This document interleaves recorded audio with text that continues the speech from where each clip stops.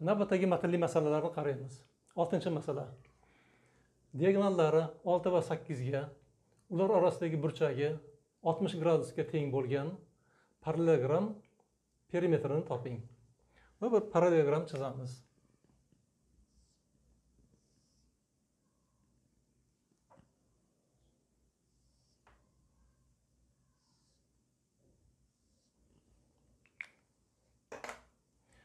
Diagonallari olti va sakkizga teng. Diagonallarni o'tkazamiz. Kichik diagonali oltiga teng katta diagonali sakkizga teng. Ular orasidagi burchak oltmish gradusga teng bo'lgan. Demak ular orasidagi burchak oltmish gradus. To'rtta burchak bo'lyapti kichigini belgilaymiz bu ikkitasi teng. Oltmish gradusga teng bo'lgan parallelogramning perimetrini toping. Perimetrini topish uchun biz bu parallelogramning tomonlarini topamiz. Mana ikkita tomonni topaylik. Mana buni a bilan belgilaylik. Parallelogramning diagonallari kesishish nuqtasida teng ikkiga bo'linadi. Sakkizga teng bo'lsa uni yarmi to'rtga teng bo'ladi. Diagonal oltiga teng bo'lsa uni yarmi uchga teng bo'ladi. Demak mana bu uch burchakning ikkita tomoni va ular orasidagi burchagi ma'lum. U holda kosinuslar teoremasiga ko'ra biz a ni topishimiz mumkin. U holda a kvadrat teng uchning kvadrati qo'shuv to'rtning kvadrati uchni kvadrati to'rtning kvadrati minus ikki ko'paytiruv uch to'rt. Ko'paytiruv kosinus oltmish gradus. Kosinus oltmish gradus bir taqsim ikkiga teng. Hop ikkilarni qisqartirib yuboramiz demak to'qqiz teng. To'qqiz qo'shuv o'n olti minus uch karra to'rt o'n ikki teng. O'n oltidan o'n ikkini ayirsak to'rt to'rtga to'qqizni qo'shsak o'n uch. Demak a tomon ildiz ostidan o'n uchga teng ekan. Ani topdik. Endi ikkinchi tomonni topamiz. B bilan belgilaylik. B tomonni topamiz. Uni ham kosinuslar teoremasidan foydalanamiz. B mana bu burchak. Bu oltmish bo'lsa bu bir yuz yigirma gradus bo'ladi. B tomonni topamiz. Bir yuz yigirma gradus. Endi mana bu burchakdan foydalanamiz. Tomonlari 3, mana bu tomon 4 ga teng. Orasidagi burchak 120 gradusga teng. Yana kosinuslar teoremasiga ko'ra 3 ning kvadrati qo'shuv 4 ning kvadrati minus 2 ko'paytiruv 3 ko'paytiruv 4 kosinus 120 gradus. Kosinus 120 gradus minus 1 taqsim 2 ga teng. Ikkilarni qisqartiramiz yana. Teng 9 qo'shuv o'n olti. Minusga minus plyus bo'ladi. Plyus o'n ikki. Teng. To'qqizga o'n olti yigirma besh. O'n ikkini qo'shsak o'ttiz yetti. B kvadrat o'ttiz yettiga teng ekan. U holda b ni o'zi ildiz ostida o'ttiz yetti bo'ladi. Endi biz e, parallelogramning perimetrini topa olamiz.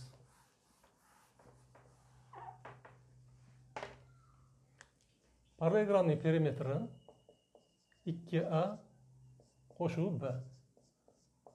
Ya'ni tomonlari yig'indisi. Ikkita a ikkita b.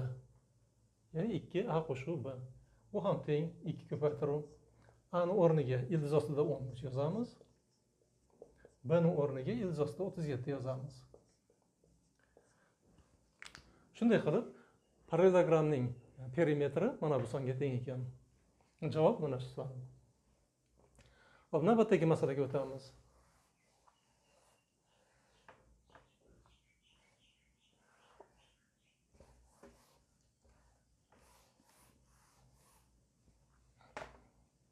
Yettinchi masala. Rasmda ABCD parallelogram diagonali hamda BC va AD tomonlarini mos ravishda teng ikkiga bo'luvchi AE va CF kesmalar o'tkazilgan. Agar s a b s yetmish ikki bo'lsa s b e m ni toping. Ho'p masalani yana qaytadan o'qiymiz. Chizma berilgan rasm berilgan ekan. Bunda rasmda a b s d parallelogram. Demak a b s d parallelogram ekani berilgan. Diagonali mana diagonali bs hamda bs va ad tomonlarini mos ravishda teng ikkiga bo'luvchi tomonlarini mos ravishda teng ikkiga bo'luvchi ae va sf kesmalari o'tkazilgan. Mana diagonali tasvirlangan bd diagonal va ae ad ho'p demak ae va sf kesmalari o'tkazilgan. Ae va sf kesmalari o'tkazilgan. Bs va ad tomonlarini mos ravishda teng ikkiga bo'luvchi. A demak ae mana bu tomonni. Demak e nuqta bs kesmani teng ikkiga bo'lar ekan mana bu kesma bu kesmaga teng ekan. F nuqta esa mana bu kesmani teng ikkiga bo'lar ekan mana bu kesma bu kesmaga teng ekan. Teng ikkiga bo'luvchi kesmalar o'tkazilgan. S absd demak absd parallelogramning yuzi yetmish ikkiga teng ekan. S bemni toping. Bem demak mana bu uchburchakni yuzini topishimiz kerak ekan. Mana bu uchburchakni yuzini topish talab qilinyapti. Hop masalani yechishni boshlaymiz. Nimadan boshlaymiz? Mana bu ikkita to'g'ri chiziq mana bu ikkita kesma parallel emasmikan? Parallel bo'ladimi yoki yo'qmi? Hozir parallelogramma alomatidan foydalanib ko'ramiz. Mana bu ikkita tomonni qaraylik. Yesi va af ular teng va parallel. Tengligi har ikkalasi mana bu tomonni yarmiga teng. Bu ham mana shu tomonni yarmiga teng. Parallelogram qarama qarshi tomonlari teng. Shuning uchun bu kesma bu kesmaga teng. Undan tashqari har ikkalasi parallel to'g'ri chiziqlarda yotibdi. Demak bu parallelogram bo'lar ekan. Chunki parallelogram alomatiga ko'ra agar to'rtburchakning ikkita tomoni parallel va teng bo'lsa u holda bu to'rtburchak parallel parallelogram bo'ladi. Demak a e s f parallelogram ekan. U holda uni mana bu tomoni bu tomoniga parallel bo'ladi. Demak a ag e ga parallel ekan. Demak buni aniqladik. Endi keyingisi. Endi mana bu ikkita uchburchakni qaraylik. Mana bu uchburchak bilan mana bu uchburchakni qaraylik. Bu uchburchaklar o'xshash bo'ladimikin yoki yo'qmi? Hozir ko'ramiz buni. Va mana bu kesma x bo'lsin. Mana bu kesmani x bilan belgilaylik ya'ni bmni x bilan belgilaylik. U holda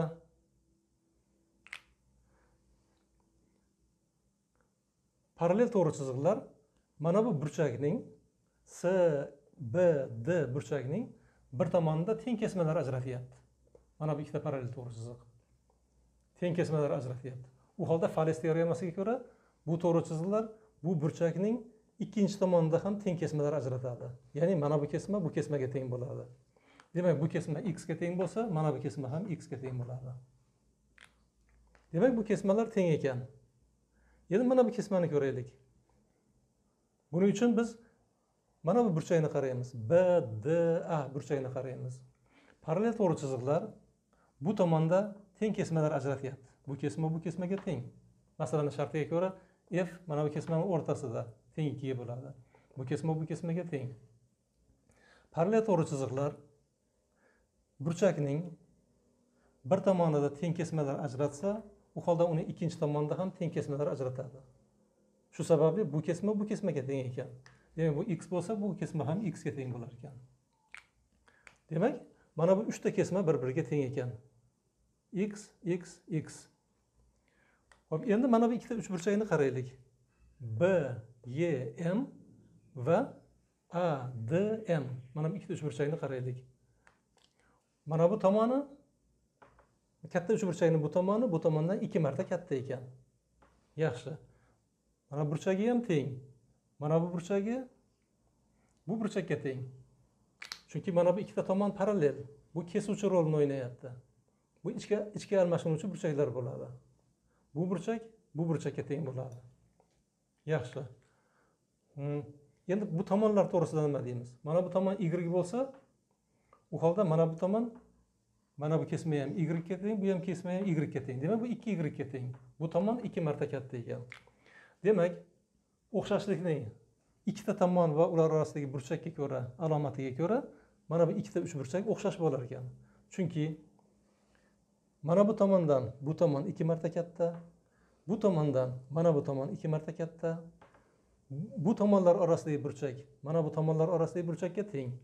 Shu sababli bu ikkita uchburchak o'xshash bo'ladi. U holda agar mana bu uchburchakni yuzini kichik uchburchakni yuzini s desak u holda mana bu bu katta uchburchakni yuzini a d m uchburchakni yuzini s bir bilan belgilasak u holda s bir taqsim s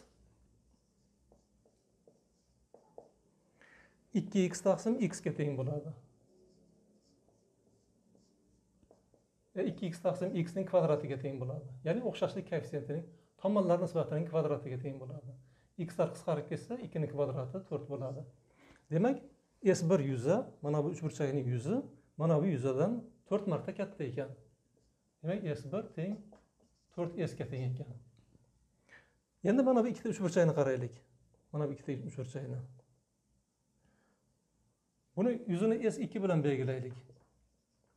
S bir bilan s ikki orasida munosabat bormi bor biz mana bundan foydalanamiz mana bunday e, formuladan foydalanamiz agar birorta kesuvchi o'tkazadigan bo'lsak narigi tomonni ya'ni burchakni uchi bilan qarshisidagi tomonni birorta nuqtasini tutashtiraylik. Mana bu kesma a bir bu kesma a ikkiga teng bo'lsin. Bu s bir bu s ikkiga teng bo'lsin. U holda s bir taqsim s ikki teng a bir taqsim a ikki. Mana bunday formula bor. Shu formuladan foydalanamiz. Bu yerda mana kesma burchak uchidan mana bu kesma chiqarilyapti. Bu kesma uch burchakni mana bu uch burchakni ikkita yuzaga ajratyapti. Bittasi s bir mana bu s bir. Ikkinchisi mana bu s ikki. S birni s ikkiga nisbati bu kesmani bu kesmaga nisbatiga teng. Ya'ni s bir taqsim s ikki teng. Ikki x taqsim x ga teng. Demak ikkiga teng ekan. Bu yerdan biz s ikkini topishimiz mumkin. S ikki teng s bir taqsim ikki. S bir to'rt sga teng edi. To'rt sni qo'ysak demak bu ikki sga teng bo'ladi. Shunday qilib biz e, s bir va s ikkilarni s orqali ifodaladik. Bundan tashqari s birga s ikkini qo'shsak ya'ni mana bu katta uchburchakni yuzi kelib chiqadi. Bu katta uchburchakni yuzi parallelogram yuzini yarmiga teng. Chunki parallelogramning diagonali uni yuzini teng ikkiga bo'ladi. Shunday qilib mana bu uchburchakni yuzi